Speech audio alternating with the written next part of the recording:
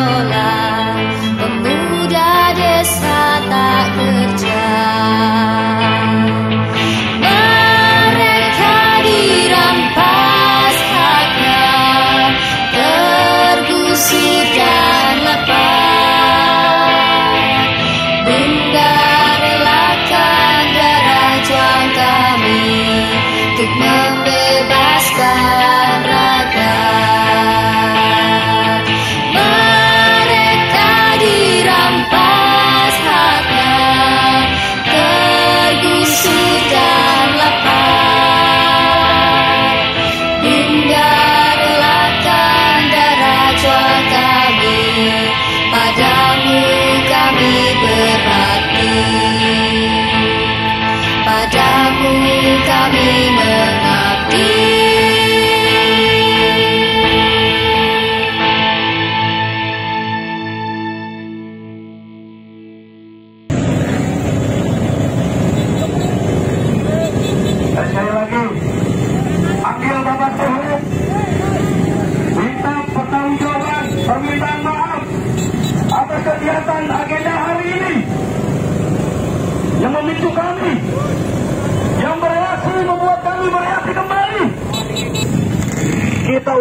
masyarakat untuk stop hari ini 9.10 polisian mau ini tenaga kerja kejahatan hebat kita ditipu ini.